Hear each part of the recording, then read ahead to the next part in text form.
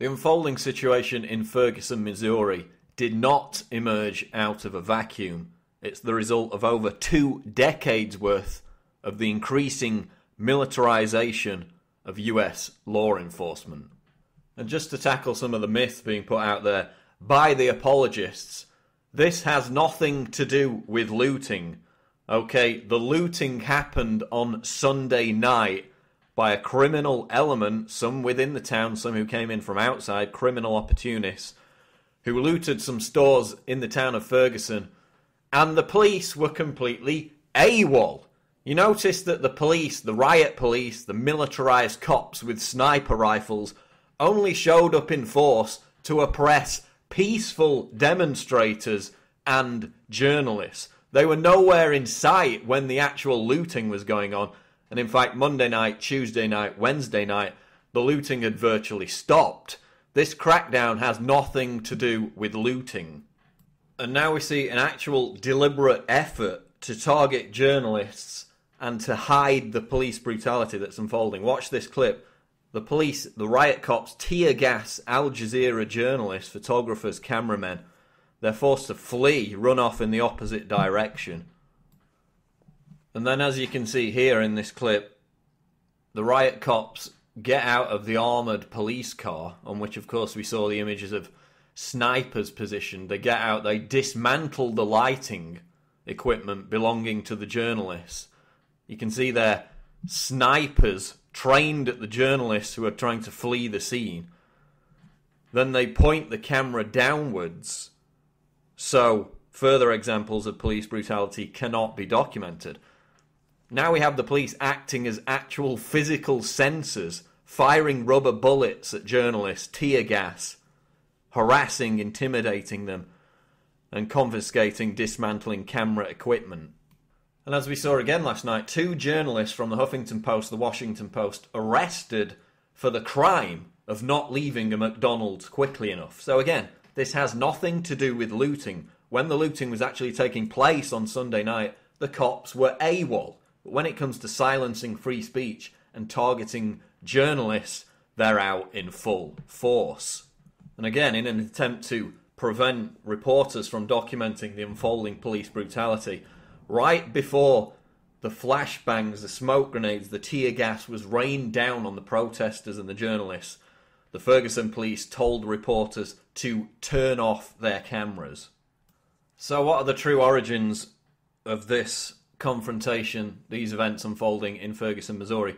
Well, of course, St. Louis County law enforcement agencies are part of the Pentagon's 1033 program, as USA Today reports today. Pentagon fueled Ferguson confrontation.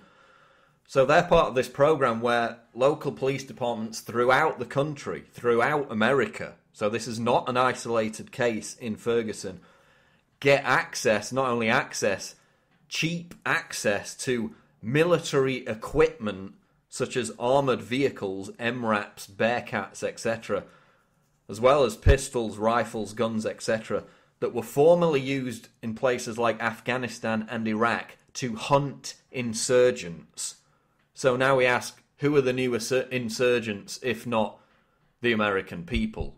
Remember this story we covered back in August last year?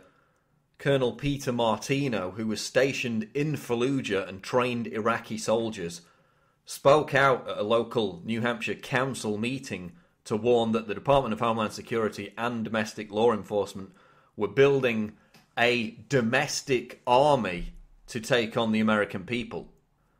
Remember how the police chief, John Duval, justified a DHS grant to purchase a Bearcat armoured vehicle. He said it was needed to deal with the threat posed by sovereign citizens, free staters, and Occupy New Hampshire activists. So they justified the purchase of the armoured militarised vehicle which was used to hunt terrorists in Afghanistan and Iraq by citing the threat posed by domestic political activists.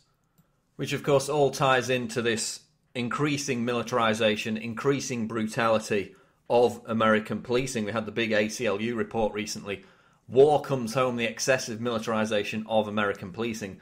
SWAT raids are through the roof over the past 20 years deaths, injuries, keep on rising as a result of brutal and often mistaken police raids.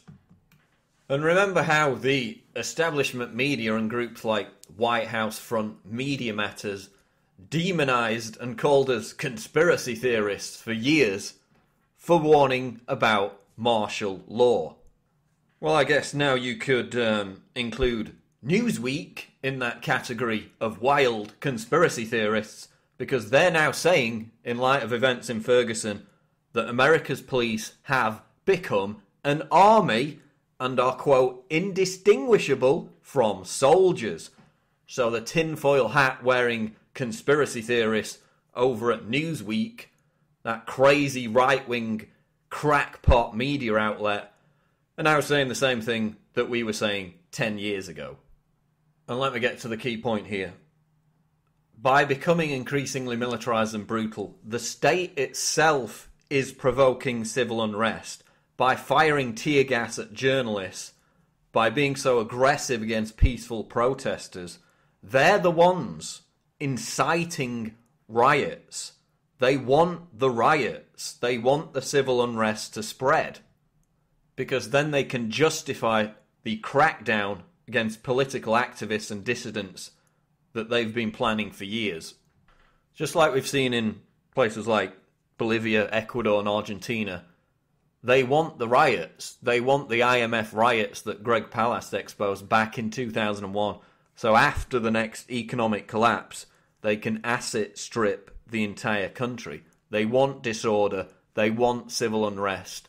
They've been preparing for it for years. We've covered the DHS bullet buys, the riot gear, and now they're openly inciting such riots with this militarized crackdown on the American people. So, snipers pointing guns at protesters and journalists in America. Nobody can deny the police state. Even Newsweek, for God's sake, is admitting that America's police forces are now standing armies.